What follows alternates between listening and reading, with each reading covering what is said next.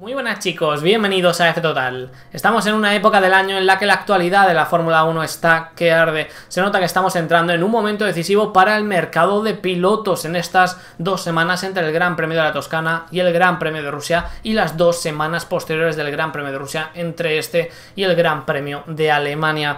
Ahí se van a fraguar muchas conversaciones entre bambalinas y muchos contratos se van a cerrar porque a pesar de que ya hemos vivido un mercado de pilotos súper intenso, súper excitante y con un mogollón de sorpresas, todavía nos quedan muchas por descubrir, porque ahí tenéis en pantalla cómo está ahora mismo el mercado de pilotos, las alineaciones de cara a 2021.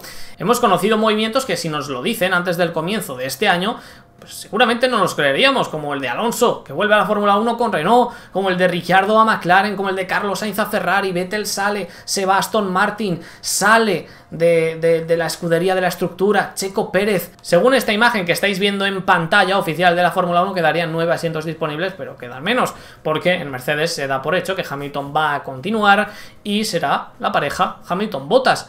En Red Bull sí que hay un asiento disponible, el de Alexander Albon, que no tiene contrato a partir del año que viene, tampoco los dos de Alfa Romeo, ni los dos del equipo Haas, el de Stroll está más seguro que nunca. Stroll y Vettel formarán pareja el año que viene, aunque no lo ponga ahí. Y los dos de Alfa Tauri también están en duda. Entonces, mínimo nos quedan unos 7 asientos por descubrir. Son muchos. Este segundo asiento de Red Bull es el más apetecible, es el que todos quieren y es el que querríamos para, para Checo Pérez. Checo, que se ha quedado sin equipo y ahora mismo está buscando cuál va a ser la opción ideal. Tiene ahí como opciones más factibles la del equipo Haas, la de Alfa Romeo. Y la opción que sería la idónea, la ideal, que sería la de Red Bull. Y hemos conocido una información este fin de semana que seguro os va a poner a los fans de, Checo los dientes largos porque Checo tiene opciones de acabar en ese asiento. Habló Noemí de Miguel este fin de semana, periodista de Movistar F1, que ha tenido información privilegiada de los movimientos de Carlos Sainz, de Daniel Ricciardo, también incluso de Fernando Alonso, y ahora habla del piloto mexicano. La semana pasada, Christian Horner uno de los capos de, Red Bull, habló con Sergio Pérez y le dijo que qué iba a pasar con su futuro porque podían estar interesados en él.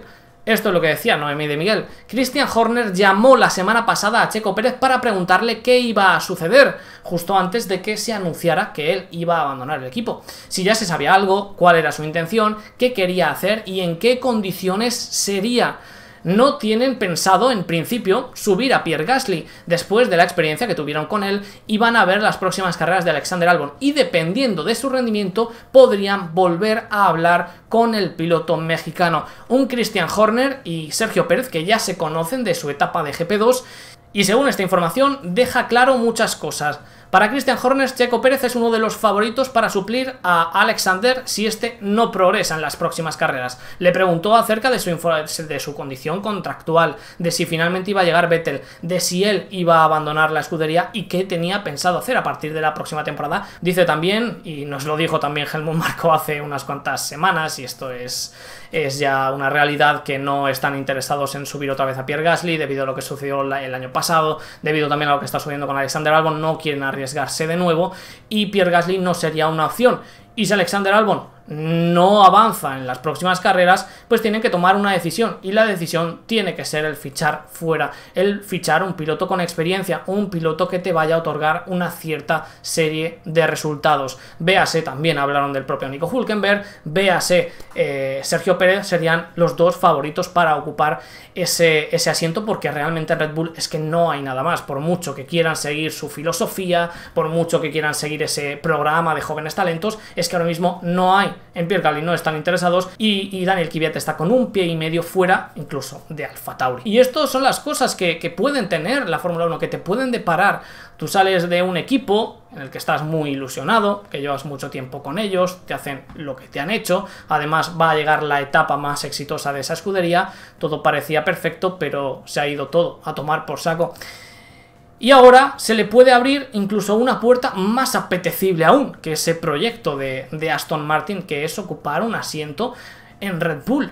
que, bueno, va a depender de muchos factores, no depende de Sergio Pérez. La primera opción es continuar con Alexander Albon si ven ese progreso, pero si no lo hay, Sergio Pérez puede ser una de las opciones y ya está en el radar de, de Red Bull. Así que estaremos muy pendientes y estas eran las palabras de Christian Horner al ser preguntado por lo de Checo. Hay pilotos fuertes y hay elementos como Nico Hulkenberg. Nuestra prioridad es con Alexander Albon y es mi trabajo ver otras opciones si las hay. Así que confirmaría un poco esas conversaciones con Checo Pérez y con el propio Nico Hulkenberg. Nuestra determinación es ver si Alex alcanza su máximo potencial. ¿Y dónde viene el problema con Alexander Albon? El problema es este que estáis viendo en pantalla.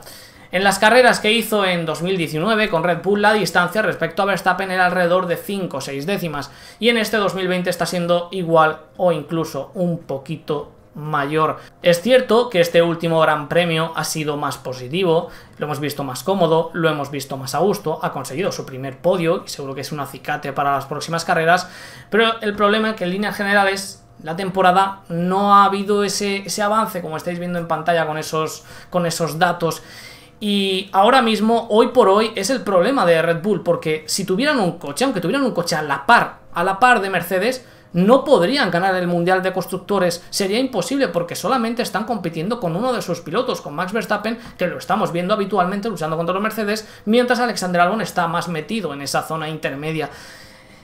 Y esto ya lo vimos el año pasado con Gasly con Albon. Eh, Red Bull tenía un monoplaza capaz de batir incluso a Ferrari en ciertas carreras, pero quedaron lejísimos en el Mundial de Constructores porque solamente estaban compitiendo con uno de sus pilotos y a partir del año que viene, si quieren en 2021, si quieren en 2022 y tienen el coche para poder pelear por el Mundial de Constructores, que es el que te da el dinero, necesitas a dos pilotos con rendimiento, con un cierto rendimiento, con ciertas garantías. Sabes que tienes a Verstappen y necesitas a ese segundo piloto, a ese acompañante que ahora mismo no tienen y por ello van a esperar, van a darle algo más de tiempo, todavía hay margen, todavía hay cuello, a ver si Alexander Albon muestra esos síntomas de evolución, pero si no lo hace, esta situación es insostenible y Red Bull tendrá que mirar fuera.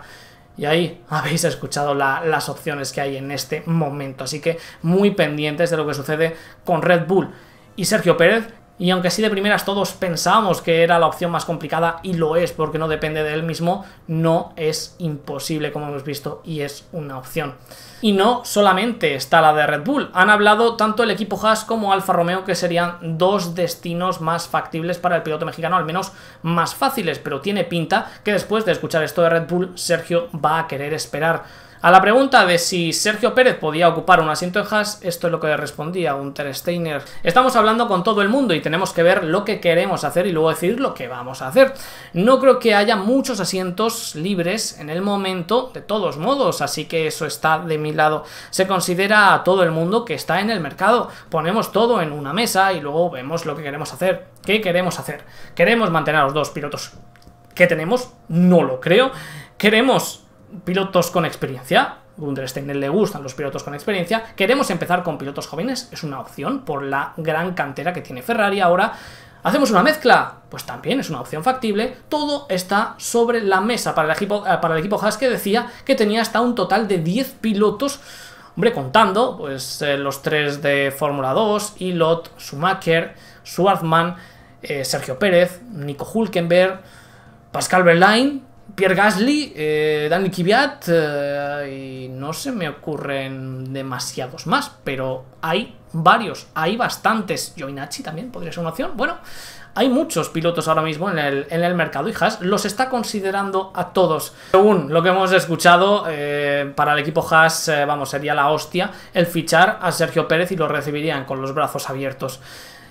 Creo que van a intentar hacer como una especie de, combinación. A ver si le pueden sacar algo a Ferrari, le pueden rascar ahí los motores gratis, le pueden rascar algún tipo de, compensación económica por poner un piloto de su, de su academia y lo van a combinar con un piloto experimentado. Y es posible que de pasar en tres años con la misma alineación Manuel Grosjean a desaparecer completamente es una opción, todo está encima de la mesa para el equipo Haas y dicen que eso juega de su parte, que no haya muchos asientos disponibles, que ellos tengan como la, la sartén por el mango. Y habla también Alfa Romeo, Frederic Basser, un hombre que conocen muchísimo a Sergio Pérez. Creo que Checo está interesado en todos los asientos que hay libres en la parrilla para el próximo año. Nosotros empezaremos a hablar con nuestros pilotos y en las próximas semanas vamos a decidir qué hacer para el 2021. La estrategia de Alfa Romeo para el año que viene va a estar muy clara y es si quiere continuar Kimi Raikkonen continuará, va a depender del piloto finlandés y ya si lo hace o no, el que le va a acompañar es uno de los tres pilotos de la academia, o Swartman o Schumacher, que creo que va a ser Schumacher, o Calum y Lot. Si no continúa Raikkonen, pues ahí se abriría la opción de Checo o de Nico Hulkenberg, pero también dependería de lo que haga el piloto finlandés. Y ya, hablando en términos generales, creo que estas escuderías van a tener que esperar un poquito más si quieren al piloto mexicano y si están interesados verdaderamente en él. Aquí hay un peligro, aquí hay un arma de doble filo, que ya lo vimos el año pasado con Nico Hulkenberg, y es esperar demasiado. Eh, Nico esperó al asiento de Red Bull, intentó esperar, intentó esperar y no llegó y se quedó sin un asiento y con una mano delante y otra detrás. Y este año no está compitiendo. Y no sé si Sergio va a querer cargar con este peligro. Es verdad que ya lleva mucho tiempo en Fórmula 1, que él ha dicho en muchas ocasiones que lo que él quiere es ya dar el, siguiente paso, el siguiente nivel, tener un monoplaza más competitivo, porque el luchar por los puntos ya lo ha hecho en todos los años de, de su carrera. Y es posible que se arriesgue si ve verdaderamente que las opciones de Red Bull son factibles. Así que todo puede pasar con Sergio Pérez, con ese futuro, incluso McLaren le ha ofrecido un asiento en la IndyCar por si no quisiera continuar o no viera ninguna opción de futuro en, la Fórmula 1. Hay que decir que una dupla formada por Max Verstappen y Sergio Pérez sería la bomba. Combinar esa fogosidad desbocada de Max Verstappen y juventud con la experiencia y regularidad de todo un Checo Pérez podría ser muy, muy interesante. Y también publicitariamente con la salida de Aston Martin como patrocinador a partir del año que viene, podrían llegar Carlos Slim con su dinero y sus patrocinadores a Red Bull para darle un impulso más y, y una viabilidad económica mejor al proyecto y también el mercado mexicano para Red Bull seguro que es muy muy importante. Entonces se podrían juntar todas las cosas y hacer a Sergio Pérez una pieza muy apetecible para ese, para ese asiento. Y bueno hablando del piloto mexicano ya para cerrar en este, en este fin de semana ahí tenéis el tweet con el que la cerró. 10 puntos a la bolsa en esta locura de carrera. Son una gran cosecha para el equipo. Nos faltó ritmo para pelear por el podio pero lo intentamos todo y nos vamos contentos con el quinto sitio. Y es cierto al final el, el quinto puesto es es el que era para, para, Sergio. Tenía cerca al principio de carrera esas posiciones de podio, pero veía como se alejaban poquito a poco porque realmente le faltó ese ritmo durante el fin de semana y tener un quinto, sumar 10 puntos. Es, eh, es, muy bueno, es muy positivo en un fin de semana tan complicado como este, porque se ha juntado todo. Se ha juntado la noticia de que va a abandonar el equipo, que le va a suplir Sebastián Vettel, que se queda ahora mismo teniendo que, que estar negociando y con la mente fuera de la pista también se junta con una mejora que ha llevado su compañero de equipo que se estima de 0,3 décimas por vuelta y él no ha llevado y veremos a partir del Gran Premio de Rusia qué sucede con esa mejora que también va a tener él en su monoplaza veremos en estos próximos días porque es inmensa, es muy grande. Dejadme en los comentarios qué opináis, con qué ojos veríais que, Sergio formara pareja con, con, Max Verstappen. ¿Os gustaría? ¿No os gustaría? ¿Qué opción veis mejor para el piloto mexicano? Suscribíos, dejad vuestro like y nos vemos en el próximo vídeo, chicos. Hasta luego.